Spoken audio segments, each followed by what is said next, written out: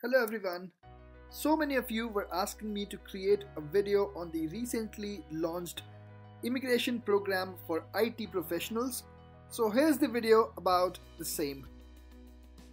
Newfoundland and Labrador PNP program has recently launched a new immigration pathway especially for IT professionals and this video is all about that.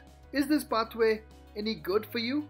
Will it actually help you immigrate to Canada We'll talk about this in this video, so if you're interested, stay tuned.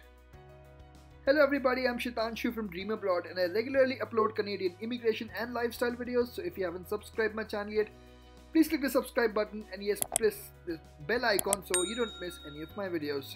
Right, this program is actually known as the Priority Skills Newfoundland and Labrador program now this program is supposed to be launched on 2nd of January 2021. It was recently announced only last week.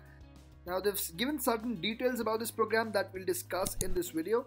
But before that let me tell you that NLPNP or Newfoundland Labrador PNP program is divided into five different categories. The first one is the express entry skilled worker category. The second one is skilled worker category.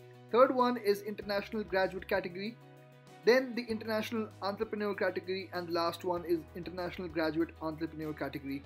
All these different categories basically required a job offer from that province to be eligible for that PNP program. But this new program which would be launched early next year, which is actually just one month away from now, would not require any job offer letters. So that's the best point about this immigration program. Okay, now let's quickly check out the eligibility criteria. So this program is basically for two different categories. The first one is for those who completed their master's or PhD from the Memorial University in the last three years with a degree related to information and communication technology, ocean technology, healthcare, agriculture, and aquaculture. The second category is for those IT professionals, so professionals with Work experience in the following high skilled, high demand occupations uh, would be considered, which are software developer, biomedical engineer, UI or UX developer, then electrical engineer, AI developer, mechanical engineer, Python developer, .NET developer, infrastructure engineer, security specialist, cloud specialist, bioinformation computer network support.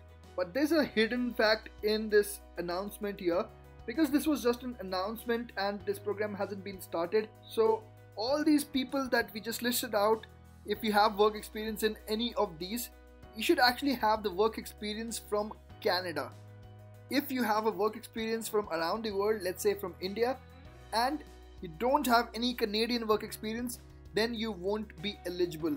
It's not listed out properly, but in the website they've listed out few examples. We'll go through that and then we'll try to understand that information from those examples.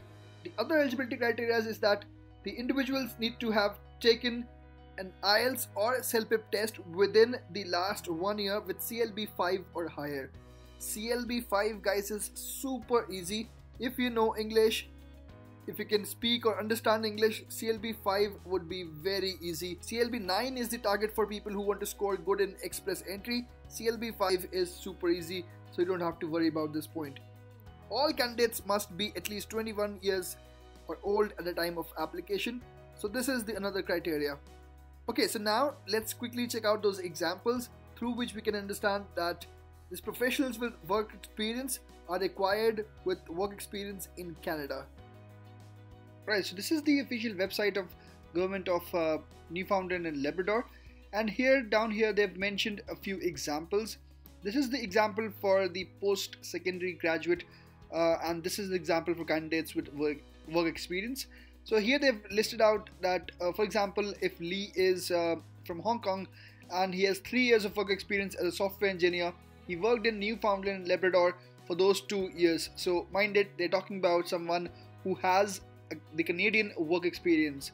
Similarly, in the second example as well, Aurelie is from Mauritius and has been living in another part of Canada for six years working as a project manager for a major Canadian IT company, which again means that they need to have the Canadian work experience.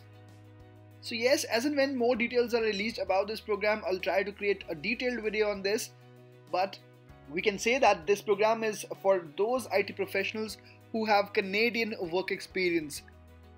Even they might not be working in Canada, they don't require job offer to be eligible for this program, but they need to have a Canadian work experience. If you have the work experience only from India or maybe from US even, then you won't actually qualify for this program. Alright, so that's it. That's all the information I wanted to share through this video. If you like the content, please click the thumbs up button.